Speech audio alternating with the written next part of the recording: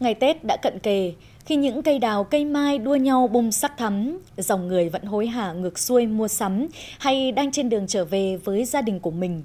Với con tàu mang số hiệu CSB 2005 thuộc Hải đội 102, Bộ Tư lệnh Vùng Cảnh sát Biển 1 bắt đầu rời bến lên đường thực hiện nhiệm vụ trực Tết trên biển. Điều đặc biệt là ở chỗ, phần lớn cán bộ chiến sĩ trên con tàu này đều là con em của hai tỉnh Nghệ An và Hà Tĩnh. Tại quân cảng của Hải đội 102 nằm bên dòng sông Lam trở nên nhộn nhịp hẳn lên. Toàn đơn vị đang hoàn tất mọi công tác để cho con tàu xuất phát đúng kế hoạch. Chuyến công tác này, tàu CSB 2005 thực hiện nhiệm vụ trực sẵn sàng chiến đấu, chống buôn lậu, gian lận thương mại, cứu hộ cứu nạn trên khu vực biển Hòn La, tỉnh Quảng Bình. Xác định chuyến trực Tết trên biển tương đối dài ngày, phải xa gia đình, người thân, trong những ngày xuân ấm áp để đối mặt với sóng gió giữa mênh mông biển cả, nên lãnh đạo chỉ huy các cấp hết sức quan tâm trong công tác chuẩn bị cho tàu rời bến. Trên cương vị là trưởng ngành cơ điện, bản thân luôn xác định nhiệm vụ trực Tết trên biển là nhiệm vụ rất vinh dự.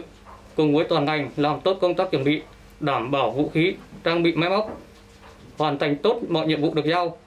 Trước giờ lên đường, cái cảm giác lâng lâng sao xuyến đến kỳ lạ, chắc hẳn ai trên con tàu này cũng đang chờ đón trong chuyến hải trình đầy sóng gió sắp tới của mình.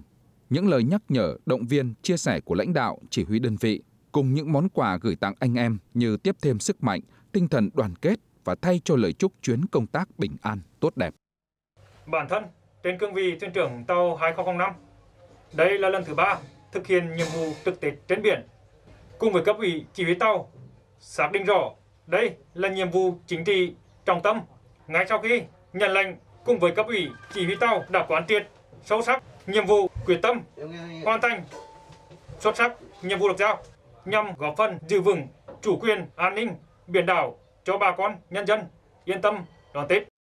Giờ lên đường đã đến, con tàu CSB 2005 tạm biệt mảnh đất xứ nghệ thân thường, uy dũng tiến ra biển khơi, mang theo tình cảm, tình yêu của đất liền, gửi gắm, đông đầy nỗi nhớ.